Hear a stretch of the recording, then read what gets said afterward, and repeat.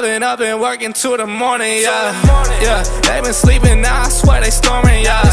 Yeah, and I swear I'm cooking like a foreman, foreman. Uh, and my foreman jumping like it's Jordan out my way. Vroom, vroom, tell him out my lane, I've been brain. Yeah, yeah, gotta say this thing, I'm the same. I don't need another person telling me I can't. Alright everybody, what is going on? Welcome back to another video. In today's video, I'm pretty damn excited. We're going to look at the myth, the legend, Larry Fitzgerald. Larry Fitzgerald has got to be one of the names that has come up on my comment section requesting me to react to him the most. I mean, there's just no doubt about it. Uh, Larry Fitzgerald, I don't know why. I, I honestly, I, I have no idea why I haven't reacted to him. Probably because he plays for the Cardinals. I mean, I don't really know a lot about the Cardinals. I don't know who the, the quarterback is. I don't know I know who the running back is because it's Adrian Peterson. He's one of my favourite players. Now, Larry Fitzgerald is number 60 on the list. He's he's he's a wide receiver, which excites me. Um, and we're, we're just we're not going to do too much research. We're just going to get into it. This is all about hearing what his fellow players think of him, and that is interesting. And that's why people love this series, and that's why I love this series. So let's get into it. The quicker you're here, the faster you go. That's why where I come from, the only thing we know is. He was even able to speak at um, Senator McCain's funeral. Many people might wonder what a young African American kid from Minnesota and a highly decorated Vietnam War hero turned United States Senator might have in common. Well, I, I, I thought of a few. I'm black, he was white. I'm young, he wasn't so young. He lived with physical limitations brought on by war. I'm a professional athlete. He ran for president. I run out of bounds. So just what he means, um, I mean, to our nation and to the state of Arizona. Um, Wow. I think a lot of people appreciate Fitz. Once again, shivers. Shivers, bruh. Came in at number 27 last year. Bit of a drop. In fact, there's, man, there's, honestly, there hasn't, I don't think there's been one player that I've seen so far that has actually gone up on the list. So we've got loads of players that have been up in the top 50 that have come down to the bottom 50. Who's going to be in that top 50 this year, man? I cannot wait to see. Larry Fitzgerald. 1983. To be honest, he spoke really, really well. I was bloody impressed. Um, 35 years old. Six foot three, 100 kilos. Holy, no wonder he's a treasure to Arizona. He's been at the Cardinals since 2004. He went the third round of the he went the third pick of the first round in the 2004 draft. He's made 11 Pro Bowl teams. His last one being in 2017. He didn't make it last year.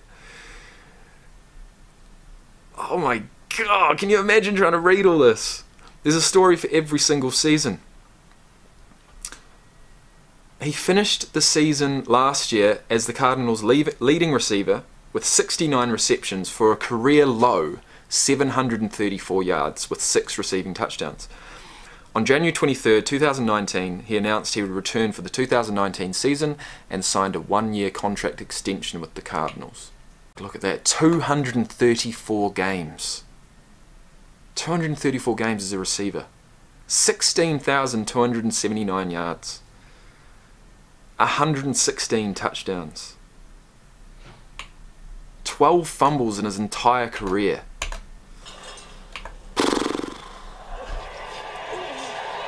He's an Arizona legend. Legend. Um, someone I watched uh, since since the Pittsburgh days. Larry Fitzgerald has I'll played take that. 15 seasons with the Arizona Cardinals. Even with his quarterback situation the last couple of years, he's still been productive. And Larry Fitzgerald, Hall of Famer, Oh. has done that, that defender. and Larry Fitzgerald, Look at how this defender comes in. How you going in, bruh? You're going in head and shoulder first. You, the defender definitely comes out second best. Watch this shit, man. The last couple of years, he's still been productive. and Larry Fitzgerald, Hall of Famer, has done Oh, Oh, no. Fitzgerald ranks third all time in receptions, averaging 86 per season, second most in NFL history. See, he's getting up there, and he he's like a Kobe Bryant. He's like a Dwyane Wade. Um, you know, he's going to be in the top 10 for stats in his position. He's played 15 years. He actually, yeah, Dwyane Wade would probably be a good analogy, to be honest. Not the best, best, definitely up he there. was still playing, so being able to see how consistent he is when he's out there on the field doing the same things that he did. Oh, to be- I thought, where's the mate? Where's the step? Where's the right foot, left foot step? No, there ain't no step. He's going straight through. be that type of Hall of Fame caliber player. I Damn. think that's what makes him really good. This is Fitzgerald's ninth consecutive appearance. Oh, on uh, the wow, look at that. For anyone ca- I don't think I've ever seen an overhand pass from the quarterback backwards until this one. To be that type of Hall of Fame caliber player, I think that's what makes him really good. This is No, Fitzgerald's never seen ninth that. consecutive appearance on the top 100. For anyone counting, that's all the seasons this show has been on. Wow. It's clear he has the respect of his peers. What did they say? This is Fitzgerald's ninth consecutive appearance on the top 100. Ninth consecutive appearance. For anyone counting, Absolute legend. This show has been on. Absolute legend. It's clear he has the respect of his peers.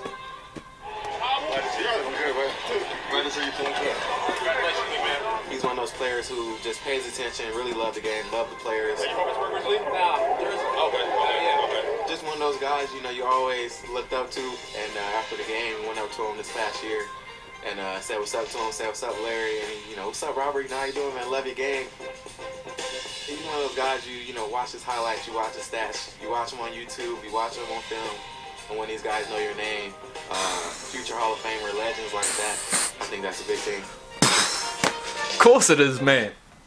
That's amazing. That is absolutely amazing. All right. Holy shit, what do we got here? OG. Not an original gangster. I think they mean offensive guard. Which means right in the middle, next to the centre. We're talking about the biggest, least mobile guys on the field, I would assume. That brings us to the end of another top 100 reaction. That was Larry Fitzgerald. I hope you enjoyed. Um, I can't wait to see him play again at age 36 this year. Have there ever been any 40 year old receivers or 40 year old running backs? I think the closest to that must have to be Adrian Peterson. And does he play on the same team? If he is on the same team, the Cardinals must have the, the oldest wide receiver running back combination in the league ever. American football running back, 34. Okay, for the Redskins. Ah, there you go. no, Griffin, 3. Okay. Peterson doesn't play for the uh, Cardinals, he plays for the Redskins. There I go again, getting confused. Alright, guys, next one Zack Martin for the Cowboys. I have to get my Cowboys top again. I'll see you soon, guys. If you've liked the video, hit the like button. Helps out a huge amount for my morale, for my self-confidence, but also for the YouTube algorithm. If you want to subscribe, please do. We're going to try and get to 200,000 subs this year, with your help, of course, because without you guys, this channel is nothing. And on that note, I want to bid you farewell. Have a fantastic night,